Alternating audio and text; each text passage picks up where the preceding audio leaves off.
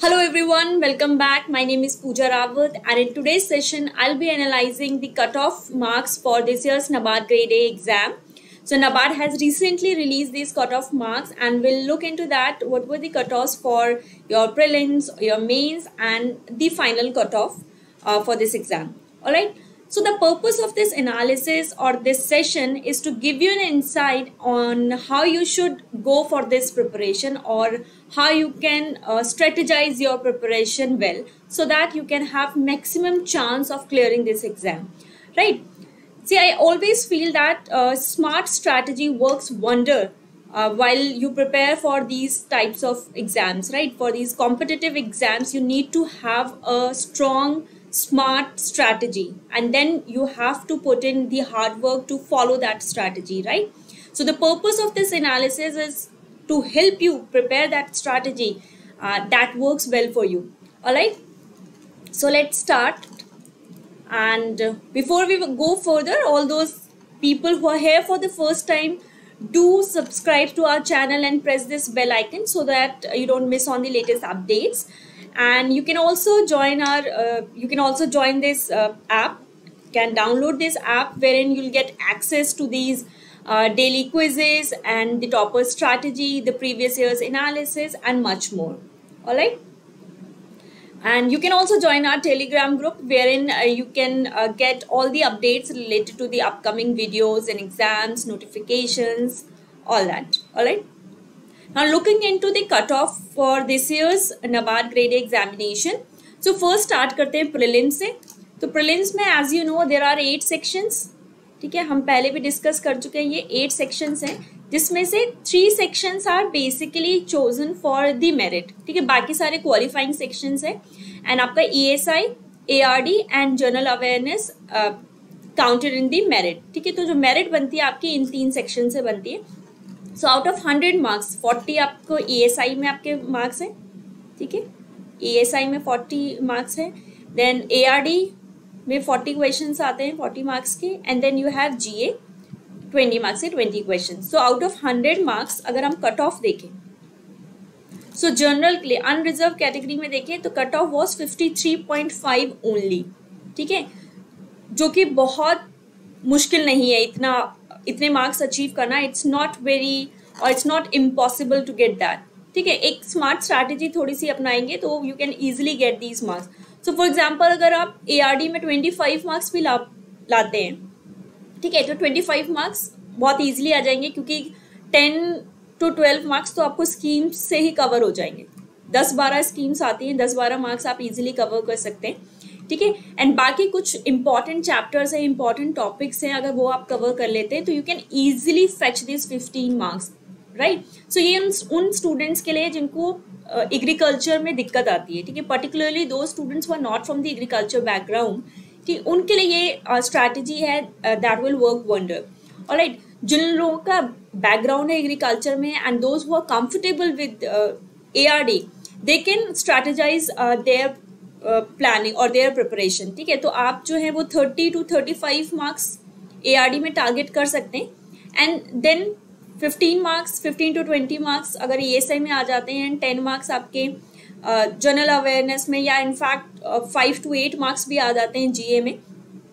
तो बहुत ईजिली जो है आपका कट ऑफ़ क्लियर हो जाएगी ठीक है? अगर थर्टी मार्क्स यहाँ आते हैं ट्वेंटी मार्क्स यहाँ आते हैं फिफ्टी और एट मार्क्स भी जी ए में आ जाते हैं तो fifty eight that means fifty eight आ गए तो कट ऑफ़ से आप you are way above that right so अपनी स्ट्रेंथ और वीकनेस के according you have to plan your strategy right the purpose is to give you an insight जिससे आपको ये पता चले कि कट ऑफ़ है कितनी और आपको किस तरीके से अपनी जो प्रिपरेशन है उसको आपको प्लान करना है राइट देन कट ऑफ़ अगर हम इकोनॉमिकली वीकर सेक्शन के लिए देखें तो it was thirty two point seven five only for O B C it was forty five point seven five for S T it was forty one point five and for S C it was forty four ठीक है? तो अपनी category के according you can see and have an insight क्या cut off थी and then you can plan accordingly now mains की बात करते हैं तो मेंस में आपका क्या होता है? आपका इंग्लिश होता है इंग्लिश डिस्क्रिप्टिव होता है।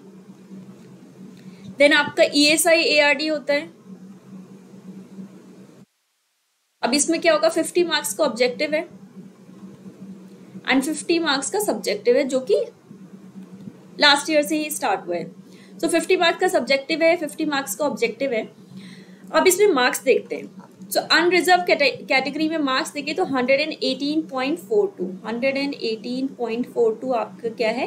कट ऑफ़ है। अब किस तरीके से आप इसको डिवाइड कर सकते हैं? किसी का अगर इंग्लिश जो है बहुत स्ट्रॉन्ग है तो वो ईजिली सिक्सटी मार्क्स जो है यहाँ पे टारगेट कर सकते हैं। 62 टू इनफैक्ट 65 मार्क्स टारगेट कर सकते हैं, जिनकी इंग्लिश में आप स्ट्रॉन्ग होल्ड है। Then E S I A R D का जो ऑब्जेक्टिव है 50 में से अगर 30 भी आ गए तो यू हैव कितना हो गया? 95 हो गया।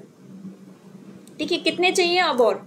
18 plus five twenty three, twenty four marks चाहिए। यानी कि सब्जेक्टिव में अगर आप 50 परसेंट मार्क्स भी ले आए, उससे भी कम, यानी कि 50 में से 24 या 25 आ गए आपके तो यू कैन इजीली क्लियर 120 हो जाएगा और आपका क्या होगा कट ऑफ़ क्लियर हो जाएगी। अब किसी का अगर इंग्लिश वीक है तो फॉर एग्ज़ाम्पल अगर 50 मार्क्स ही आए, ठीक है 50 मार्क्स ही आए, आपको कितने लाने हैं और? सिक्सटी एट मार्क्स और चाहिए मतलब सेवेंटी मार्क्स मान लीजिए सेवेंटी मार्क्स और चाहिए। तो सेवेंटी मार्क्स लाने के लिए क्या करना होगा आपको? या तो आपका सब्जेक्टिव बहुत अच्छा हो जाए, या फिर आपका ऑब्जेक्टिव बहुत अच्छा हो जाए। तो आई वुड रिकमेंड कि आप कोशिश करो कि ऑब्जेक्टिव में क्या हो, ज़्यादा से ज़्यादा मार्क्स हो, क्योंकि वहाँ पर क्या होगा, वो सब्जेक्टिव पेपर नहीं है तो अगर आपका आंसर सही होता है तो आपको मार्क्स मिलेंगे ही मिलेंगे राइट सब्जेक्टिव पेपर में क्या होता है, आपके क्वालिटी पे डिपेंड करता है। आंसर क्वालिटी पे डिपेंड करेगा कि आपको कितने मार्क्स मिलते हैं। तो टारगेट यही होना चाहिए जिनका इंग्लिश पुअर है और स्ट्रॉन्ग होल्ड नहीं है, कि वो थर्टी फाइव से फोर्टी मार्क्स ऑब्जेक्टिव में आए। ठीक है? तो आपका अगर एट्टी फाइव हो जाता है यहाँ तो आपको और वन ट्वेंटी मार्क्स के लिए कितना चाहिए? थर्टी फाइव चाहिए आपको तो आपको सब्जेक्टिव में इतने मार्क्स लाने पड़ेंगे। थर्टी टू थर्टी फाइव यानी कि आपका उस एरिया में आपका एआरडी जो है काफ़ी स्ट्रांग होना चाहिए, क्योंकि वहाँ पे टेक्निकल क्वेश्चंस भी आते हैं राइट सो आपको एग्रीकल्चर में ज़्यादा मेहनत करनी पड़ेगी। You have to give more time on that right right? So इस तरीके से आप अपनी जो भी प्रिपरेशन है उसको स्ट्रेटेजाइज कर सकते हैं depending on your strength and your weakness और right now final cut off की अगर फाइनल सिलेक्शन देखे तो जर्नल वाले की जो कैटेगरी है अनरिजर्व कैटेगरी में इट वाज 164.33 सो 164.33 है. And this was out of 250 ठीक है? तो 50 मार्क्स इसमें इंटरव्यू uh, के हैं और 200 मार्क्स आपके मेंस के हैं. ठीक है? तो out of 250 you have to get 164.33 हो सकता है इस बार की जो कट ऑफ़ हो वो पाँच नंबर या दस नंबर ज़्यादा हो लेकिन लास्ट ईयर की अगर कट ऑफ़ से कंपेयर करेंगे इस इस साल की कट ऑफ़ को तो percentage wise it is comparable ठीक है? ऑलमोस्ट सेम है. सो मे बी अगर नेक्स्ट ईयर फाइव मार्क्स बढ़ के भी आ जाती है वन सेवेंटी भी आती है तो आपको इसी तरीके से स्ट्रेटेजाइज uh, करना होगा कि आपका जो मेन्स है उसमें एटलीस्ट आपके वन थर्टी आए। और इंटरव्यू में क्या है फोर्टी मार्क्स ऑलमोस्ट सबको मिले हैं। ठीक है तो आउट ऑफ़ फिफ्टी फोर्टी जो है वो काफ़ी एवरेज मार्क था सबको मिले हैं and the highest was forty eight ठीक है so the highest mark that student got was forty eight out of fifty so you can easily imagine कि uh, अगर आप आपको लगता है कि आपकी पर्सनैलिटी काफ़ी अच्छी है और you can confidently answer all the question although काफ़ी डाइसी होता है इंटरव्यू सो मेन्स में आपका फोकस होना चाहिए कि मैक्सिमम मार्क्स आपको यहाँ मेंस में फेच करने alright you never know what can go wrong in the interview and you can not take that chance right so you have to give more focus और more priority in fact to the mains preparation right so this was the cut off for your prelims mains and the final I hope you got an idea and section wise देखें, अगर तो S C की cut off was one nine two S Ts it was 157.83 For OBC, it was 160.17 and for economically weaker section, it was 159.75. तो बहुत ज़्यादा difference नहीं है. In fact S को देखिए 153 इसको हम मान लेते हैं. एंड इट इट इज़ 164 तो बहुत ज़्यादा गैप नहीं है. हार्डली टेन मार्क्स का डिफरेंस है. ना अगर uh, वाइज देखें कट ऑफ़ को so paper one and paper two mains की यहाँ पे कट ऑफ़ जो है मैंने लिए। Give me second so general के लिए कैटेगरी वाइज अगर हम देखें S C S T O B C और person with bench mark disability के लिए जो पेपर वन की कट ऑफ़ थी वो फोर्टी एट पॉइंट फाइव थी। यानी कि इंग्लिश में आपको minimum forty eight point five marks लाने थे। एंड एक स्टूडेंट जो सेलेक्ट हुआ है, उसका 49.5 मार्क्स आए।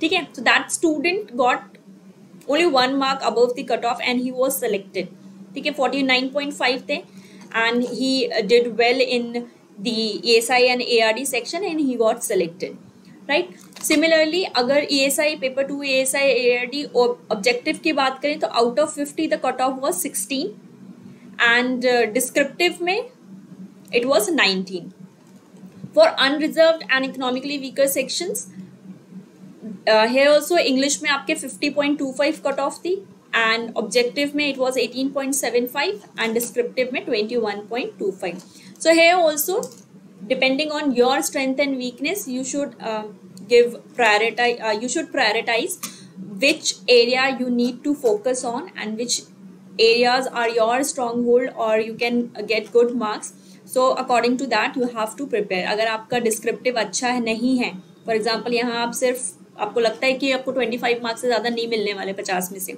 तो you have to give more priority to this ठीक है, आप आपकी प्रिपरेशन यही होनी चाहिए कि आपको ऑब्जेक्टिव ज़्यादा से ज़्यादा अच्छा हो या आपका इंग्लिश ज़्यादा से ज़्यादा बेटर हो पाए। क्योंकि इसमें क्या कॉम्प्रिहेंशन आएगा एसेज होंगे। अगर आपने थोड़ी सी भी तैयारी कर ली, अगर अभी से प्रिपरेशन स्टार्ट कर देते हैं and weekly you start writing an essay on any topic on the topic that are in news तो आपका क्या होगा प्रैक्टिस हो जाएगी and then you can easily get good marks in your English description so अगर अभी से preparation करेंगे तो you will have a greater chance to get good marks in the exam and to clear this exam right so qualifying section के भी मैंने यहाँ पर कट ऑफ़ लिया है। तो क्वालिफाइंग सेक्शन में जो मिनिमम अगर हम देखें अनरिजर्व कैटेगरी अनरिजर्व कैटेगरी में देखें तो रीजनिंग में it was three point seven five then English में it was eleven point two five only then computer में देखें तो three point two five then quantitative aptitude में it was five